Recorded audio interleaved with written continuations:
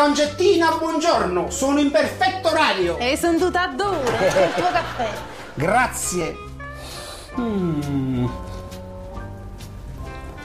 Ah, buono come al solito. Mm, Rafe, ma che è questo armamentario che ti porto a preso? Eh, questo armamentario, come dici tu, è l'ultimo ritrovato della scienza e della tecnica portieristica.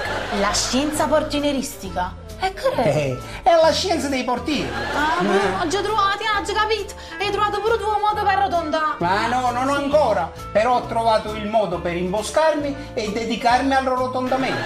Ho inventato il primo citofono CPV. Ma no, forse GSM. No, no, CPV. Citofono portiere vomero. Veramente. Eh. Ma come funziona sto cosa? Eh, ecco qua, è semplicissimo. Prima, quando un condomino non mi voleva, chiamava in portineria e naturalmente. Non lo trovavo. Non lo trovavo perché stava facendo altre cose, con relativa incazzatura del condomino e dell'amministratore. Opportunamente avvisato dal condomino che automaticamente teneva moglie di dubbia moralità. E cioè? Con condomino automaticamente teneva il conto. Adesso invece, quando un condomino mi chiama attraverso un'antenna che parabolica sopra il palazzo. Mm, ma non lo è. No, no, no, no, no, lo è. Rafe, è parabolica si dice. Eh, a me ho tecnica così, ha detto, Raffaele, mi metto un'antenna parabolica, a girare i bassi che è boh. E comunque attraverso questa antenna mi arriva la chiamata direttamente sopra il citofono. Io rispondo e dico, pronto, sono Raffaele il portiere, che sono in portineria, che cosa vi posso servire? E così non ho più bisogno di stare in portineria nel raggio di 3 km. E stai sempre che a dinta. E vabbè, questa è la mia dipendenza, questo è il mio ufficio secondario.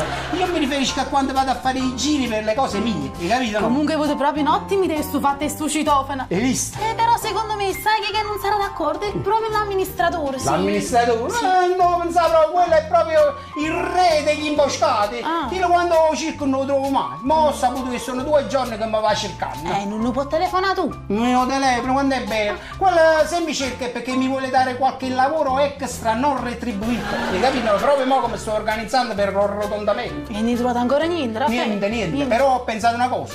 Voglio proporre al direttore di fare il testimone. Ma come? Chi l'ha ancora te trova una pagliona? Ancora state sposetto ciò che devo compare? ah? No, Raffaele. Ah, concetti, concetti, ma no il testimone del compare della nozza.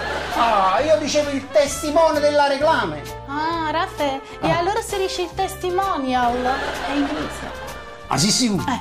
A me mi pare un cerezzo. Pigliarla, pusarla, portarla, spararla, Eh, testimoniarla. Andiamo, Raffaele. Ah, ecco qua, io avevo pensato questo, Eh. guarda, un grande manifesto, con me sopra con la tazzina in mano e sotto sta scritto anche Raffaele beve caffè Borbuto.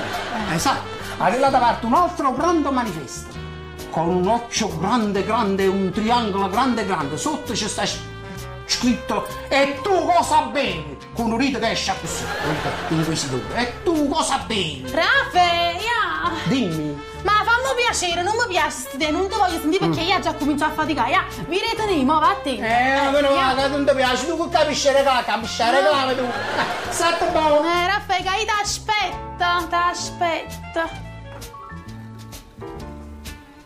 E tu cosa bevi? A te che te non vuoi. Raffaele, ma fammi piacere.